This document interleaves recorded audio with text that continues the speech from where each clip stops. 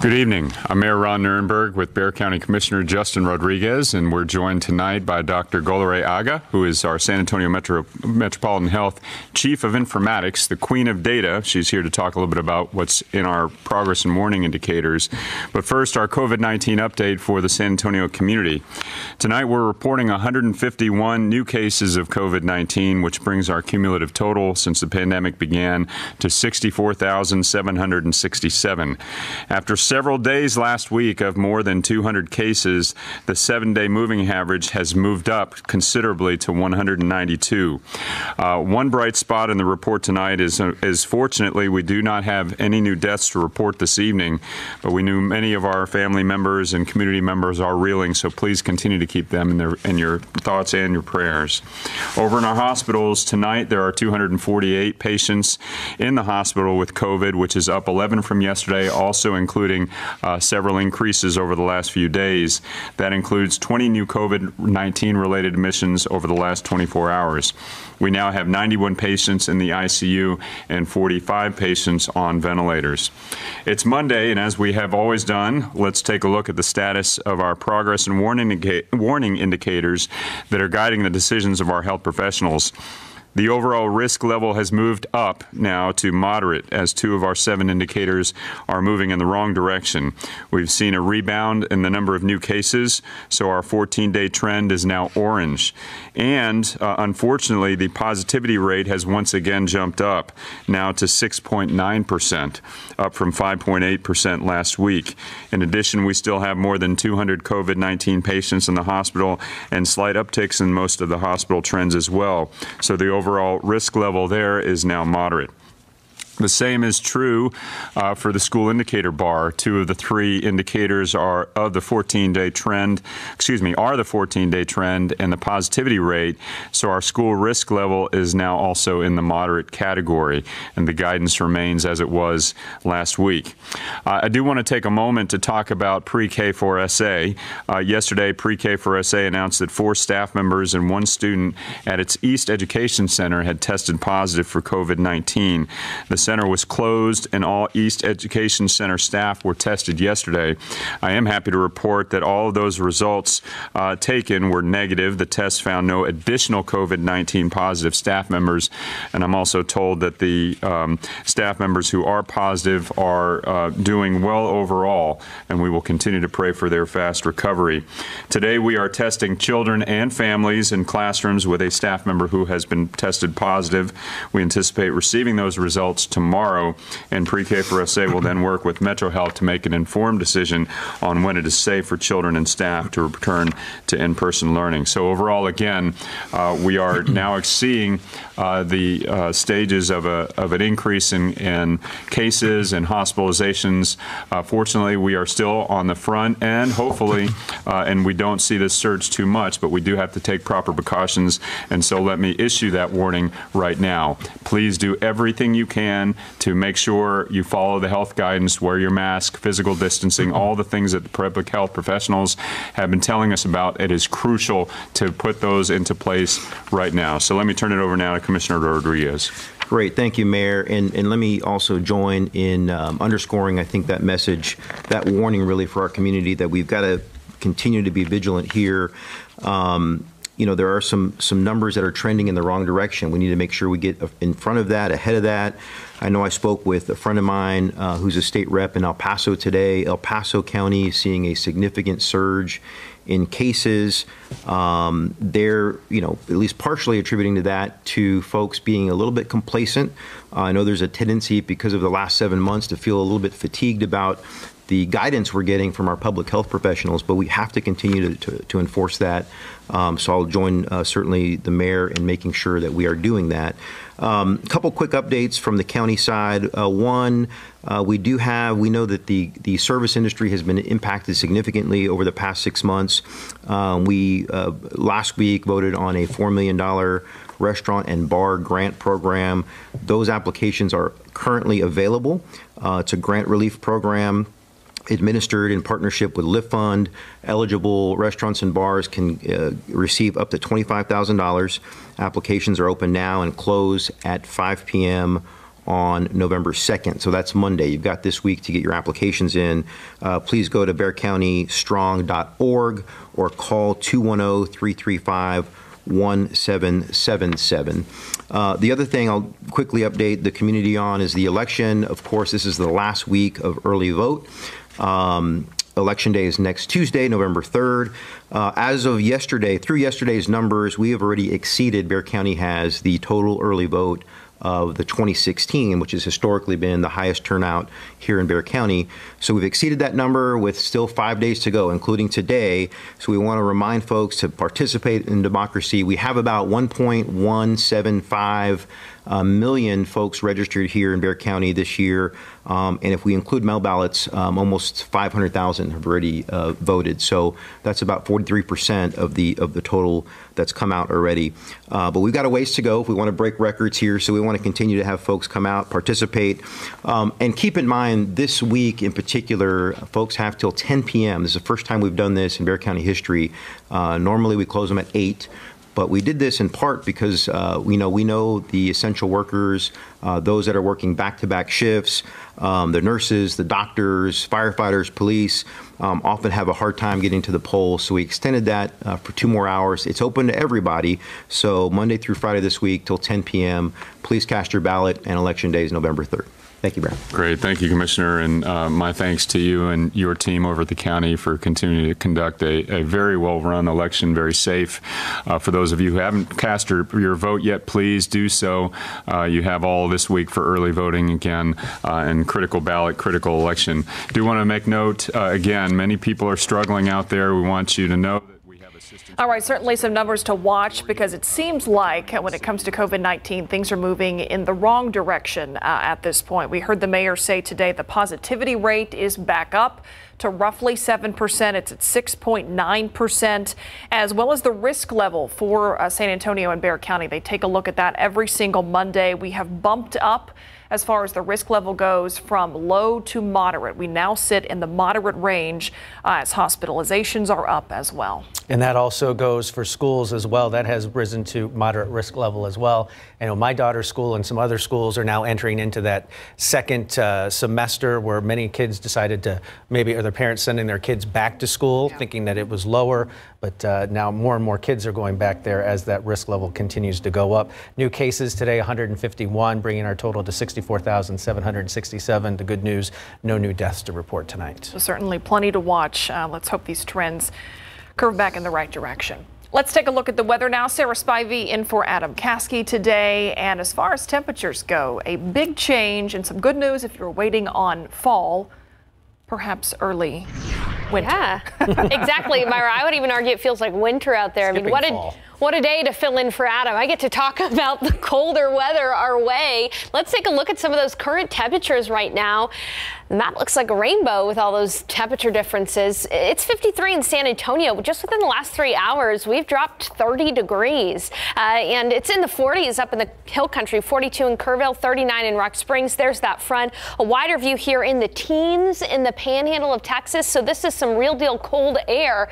And on top of it, we're going to have a chance for some scattered light rain over the next two days. And that's because of an upper level low pressure system. It's not going to amount to much, but the scattered light rain in the cloud cloud cover is going to keep us really cool. In fact, tomorrow morning we'll wake up at 42 degrees. It'll be in the 30s in the hill country, but above freezing, and that's an important thing to note. A little bit closer to the neighborhood view around San Antonio, 42 at Stone Oak, 41 for the low in Leon Springs, 45 in Seguin, and 44 in New Braunfels. We won't warm up that much tomorrow because of the clouds and because of scattered light rain. And so because of that, our high temperature only going to be in the low 50s around San Antonio. It may not get out of the 40s uh, for uh, most folks up in the hill country. So looking at the day tomorrow again, cloudy with some areas of light rain and then we'll clear out on Wednesday. Still cool on Wednesday but then we'll have sunshine through Halloween. Chilly mornings comfortable afternoons. Halloween evening probably in the 60s nice and cool.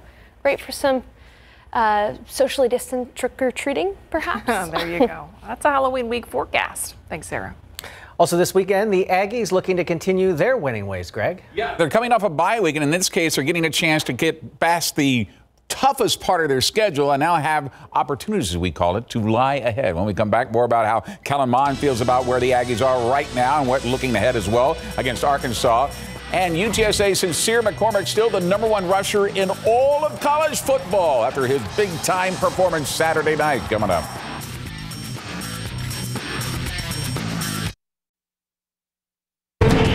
After taking the week off, the Texas Aggies are going to take their number one, number eight, should say, ranking out for a little spin when they host the Arkansas Razorbacks at Kyle Field on Halloween night. This is their first game back since beating Mississippi State in Starkville for the first time since 2012. San Antonio's own Kellen Mond is off to a great start behind a much improved offensive line. He's completed 61.5% of his passes, thrown for nine touchdowns, only two interceptions, has the highest quarterback rating right now in the season, 144.9. Now, with the toughest part of the Aggie schedule behind them, with their only loss to Alabama, they have a chance to finish strong, starting with the Razorbacks, but Mond isn't overlooking Arkansas's much improved defense. I definitely think they've been playing really well, and um, you know I think it's one of those defenses that have been playing um, together as a full unit.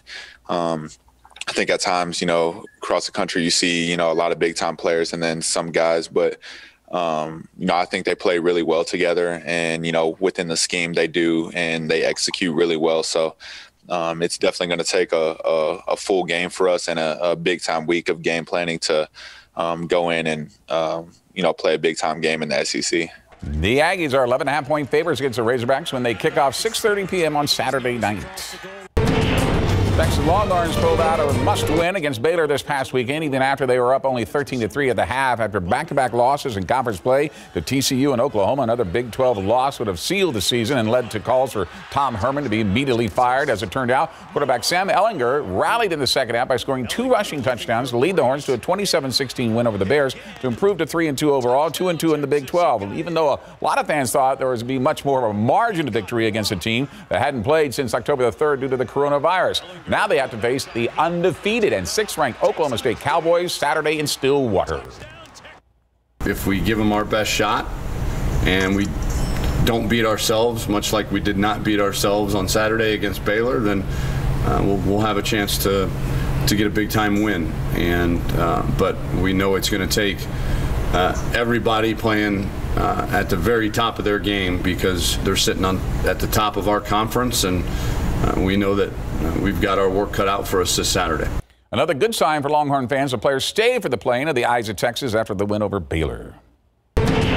The UTSA Roadrunners ended their three-game losing streak by getting an important Conference USA victory at home Saturday night against Louisiana Tech. The victory improves UTSA to four and three overall in the season, and more importantly, two and one in conference play, which places them second in the West Division. But the Roadrunners had to come from behind in order to secure the 27-26 victory. In doing so, former Judson running back Sincere McCormick registered his fourth 100-yard game of the season with 165 yards in the day, three touchdowns, as he continues to be the leading rusher in college football. And now the Conference USA offensive Player of the Week. But even more impressive is the fact he carried the ball a school record 37 times. So considering his workload on Saturday, how was he on Sunday? He's awesome. He was in my office the very next morning just laughing and and just he's in great spirits and bouncing around here. You, it's unbelievable. The kid is mentally tough, physically tough. He loves San Antonio. He loves his university. He loves his teammates, and that's just who Sincere McCormick is. All right, next up, the Roadrunners hit the road to take on Florida Atlantic Saturday at 11 a.m. 37 carries? That's huge. Got some wheels. Uh, well, I wouldn't the next day. I would be in the couches like, help me. He's young and full of energy. Yes, he is. Thanks, Greg. Our KSAT Q&A is up next. We are eight days away from Election Day in an incredibly unique year and certainly unique things happening in Bexar County and across the country. So for today's KSAT Q&A, we want to bring in Dr. Henry Flores, Professor Emeritus of Political Science at St. Mary's University. Thank you so much for being here, Professor. Uh, let's talk about with what's happening here in Bexar County. We know that we've already broken a record, more people voting early at this point with eight days left to go than the entire early vote in 2016. What do you make of that? What are your impressions? Um, first of all, thank you for, for having me on your program. Um, it's really a reflection of what's going on across the country. Uh, something like 16, 62 million people have already cast their votes nationally. uh, which is almost the entire total amount of votes that President Trump received in 2016 in the general election. So there's some excitement in the air. Um, I checked all the polling places in Bexar County. Every polling site has outvoted itself from 2016 just across the entire across the entire county. Um, it's uh, it's just an energized election. I know both parties have been uh, getting has have very energetic get out the vote uh, operations going on. Uh, they're knocking on doors uh, and and getting people to the polls as, as much as they possibly can, encouraging them all to early vote. And part of the problem with early voting, or part of the reason for the early voting, is it seems to me has been that voters are afraid their votes won't count, so they're trying to get them in as early as they possibly can. Uh, mail-in voting is way over the top. Uh, something like 70, 75,000 ballots were, were may have been mailed into Bexar County, which is three times more than they had before. Um, I'm, I'm, sorry, twice as many as they had before uh, in 2016. So they're really Uh, the voters are just coming out of the woodwork right now. And doctor, what does that indicate? I mean, obviously people have already made up their minds if that many of them are voting early. Historically speaking, does that tend to benefit the, the, the person who's already in office, like Mr. Trump, or does that benefit the, the challenger here? Where's the excitement coming from? Well, actually, this election, you know, according to all my colleagues, we've been all over the internet for days now trying to figure out the answer to that particular question, along with some other ones traditionally, um, one of the things we've noticed over time is that early voting has increased every general election to date. This is the highest it's ever been. So this is just really the culmination of a trend that's been going on for a while. Um, part of it has to do with um, the flexibility that early voting uh, uh, allows for voters just to have a lot of different options to get to the polls. It's easier, and they don't have to worry about scheduling all their time for one day to vote. So that's part of what's going on.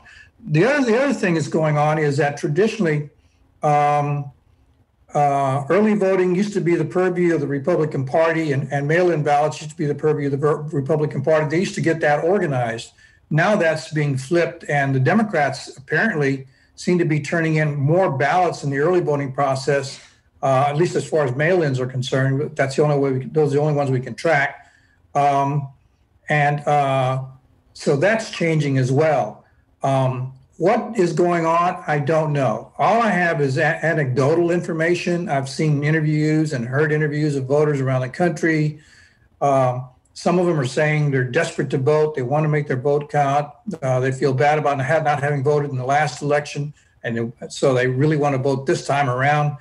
And so there's just a, a myriad array of, of re- reasons for that most of which we probably won't know till the post-election surveys are conducted and we really get a look at the electorate as to why they cast their vote when they did. Yeah, we'll find out November 3rd or the days following, certainly. You talked about mail in voting. I want to go back to that for a second. We know that mail in voting has always been an option for those who qualify, but certainly this year it's a much bigger uh, priority for some people. But we have heard from people who said, I planned to mail in vote. I even sent in my mail in ballot, but now I want to vote in person. I've had a change of heart on my method of voting. What mm-hmm. happens mm-hmm. in an instance like that? Well, as long as they don't cast a send their mail-in ballot in, they, they're free to go to the polls to vote. But, yeah, the only the only law says you can't vote twice, right? So you either mail in your ballot or just don't don't mail it in and just go to the polls and, and cast your ballot. So that's that's that's an option.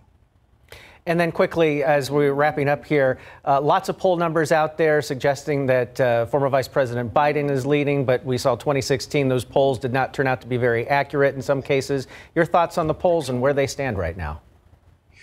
Yes, that's been a, a good item of discussion on the internet with, among political scientists as well. And it seems like um, that they've been trying, the, polling, the, the traditional polling organization have been trying to make adjustments for that to try to minimize the amount of error. Now, the problem is with polls, anytime you have uh, trying to try to project a, a, a, big population center like Bexar County or Harris County or United States of America, and you're and you're trying to project uh, an opinion from a small number, you're going to have a lot of margin of error built into it. Now, we do know that the individuals that don't tell the truth or or sleepy voters uh, that that choose not to answer surveys and so forth are, are extremely minimal. as far as mathematically is, uh, is concerned.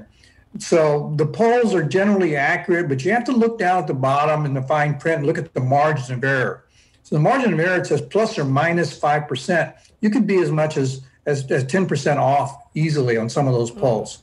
And so even though they, that a poll will say that, uh, uh, for instance, Vice President Biden has a 5% or a 3% lead in Texas, like I saw one of the national polls today, he could have as much as a 8% lead or, or little as, or he could be behind in the polls. So there's a lot, there's a range that you have to think about when you look at polls. Take them with a grain of salt. Good day advice. by day, yeah, we're getting closer to finding out how this all will play out. Dr. Henry Flores, professor of political science at St. Mary's University, thanks for your time. Thank you. We'll be right back.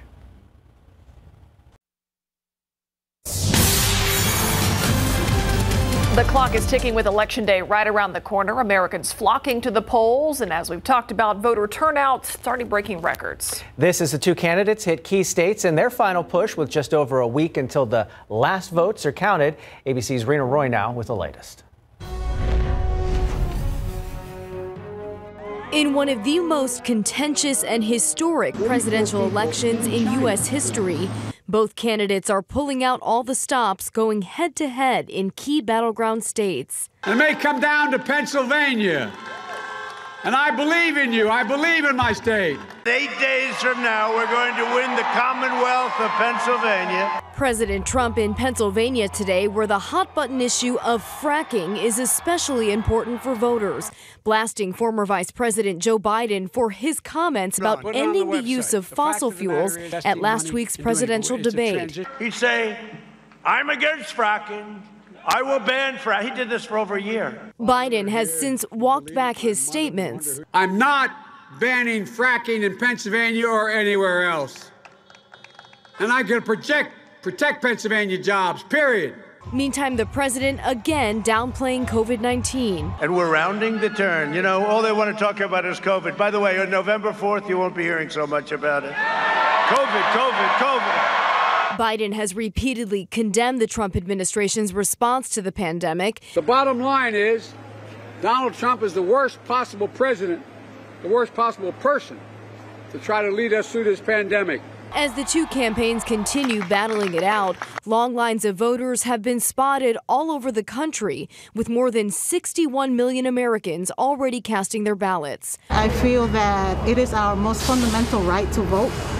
And voting numbers are so high, they're already exceeding the total for early voting in 2016. And there's still eight days to go before final votes are cast on Election Day. Reena Roy, ABC News, New York. All right, temperatures have dropped in San Antonio, so now we're wondering, of course, Sarah Spivey, how long is this really going to last? You know what? Honestly, it's going to last for a long time. Now, tomorrow is going to be our coldest day in a while here in San Antonio, but even into the weekend, we're going to have chilly mornings in the 40s and comfortable afternoons. So, sweater weather has arrived and jacket weather has arrived for tomorrow. Right now, outside, it is cloudy. Here's a look at the high temperature for the day 84 degrees which is above average by 5 degrees. But then that cold front hit at around 230, 240 around downtown San Antonio, and that dropped our temperatures. We're currently at 53, so our low temperature is going to go down even more. By the way, we saw about 5 hundredths of an inch of rainfall from the light rain earlier today. Not much, but it's something. It's been a pretty dry October, but here's what everybody's talking about the temperature differences around the area. Look at that 41 in Kerrville, 39 in Rock Springs, 53 here in San Antonio. You can clearly see where the cold front is. It's still 82 degrees in Cotulla. Uh, So we've got a really large spread of temperatures, about 40 degrees around the KSAT 12 viewing area. Of course, everybody across South Texas is going to get that cold front eventually, even uh, the uh, Rio Grande Valley down south of San Antonio. Winds are from the north, gusting up to about 30 miles per hour. They'll continue to do that overnight, and even into tomorrow, it's going to be pretty breezy as well.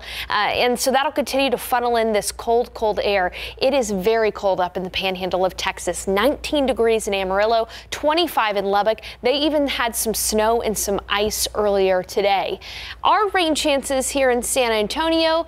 They're looking all right. We're not going to see a ton of rain, but we are going to have on and off again light rain over the next 36 hours or so, all because of this upper level low around Baja California. That's going to continue to bring us that chance for rain. And I'll take you through the future cast, and you can see exactly what I mean. Very light rainfall in some places, maybe amounting up to a quarter of an inch of rain if you get a good downpour, but the rest of us probably going to keep temperatures uh, just on the low side with the on and off again light rainfall. Uh, that'll be the case uh, through about Wednesday morning, and then things will really clear out for us as that low moves off. It'll be sunny around San Antonio by Wednesday afternoon, but not necessarily warm, just sunny. Hurricane Zeta, late season hurricane, actually going to make landfall along the central and eastern Louisiana coast by Thursday, and that's actually going to pull in some dry air here and help it to be sunny around San Antonio. But we have to get through uh, this uh, cold and gray uh, chunk of weather over the next about 36 hours or so. So tonight we'll be already at 45. By midnight, it'll be windy. You may run into a light rain shower or two,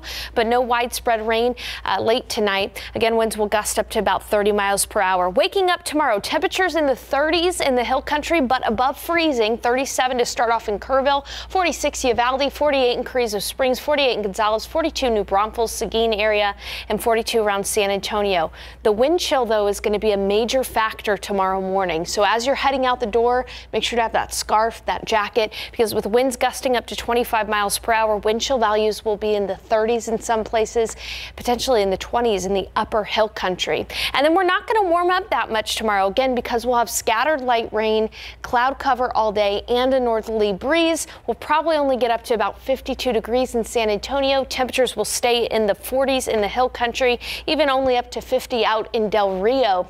And so then again, just to break down everything for you, it's going to be a cloudy and cool day. A better chance for that scattered light rain in the morning hours, uh, but even by the afternoon, you may run into a light rain shower or two. North winds at 10 to 20 miles per hour. We'll clear out on Wednesday, and so we'll be able to get up into the 60s, but it's still going to be chilly over the next 48 hours. Then we'll wake up in the mornings uh, for the rest of the week in the 40s. Sunshine for the rest of the week, though, too, and that's nice. Halloween looks good, 74 degrees for the high temperature, probably in the 60s around trick or treating time. Don't forget, you got to fall back on Sunday in the morning, uh, and it's going to be really nice forecast, very fall like indeed. Might be time to consider turning that heater on for the first Oh, time. this year. maybe, Yeah. Smell that awful smell. Exactly. Burning off the dust. We'll be right back. Taking you live now to the Senate floor on Capitol Hill in Washington, D.C., where senators are gathered for the confirmation vote of Judge Amy Coney Barrett to become the next Associate Justice for the Supreme Court this evening. She is expected to be confirmed tonight. Uh, you can see that there are uh, a lot of masks being worn during this vote, and of course, that is a requirement uh, for this event happening here this evening. Uh, you'll remember at that event where the president introduced her as his nominee, uh, that was deemed later a super spreader event. A lot of people uh, with both the president and his inner circle uh, deemed to have contracted COVID from that event. We'll keep an eye on what's happening here on the Senate floor, but again, Judge Amy Coney Barrett expected to be confirmed uh, with a Senate vote this evening. Thanks for watching the news at 6. Have a good night. We'll see you at 10.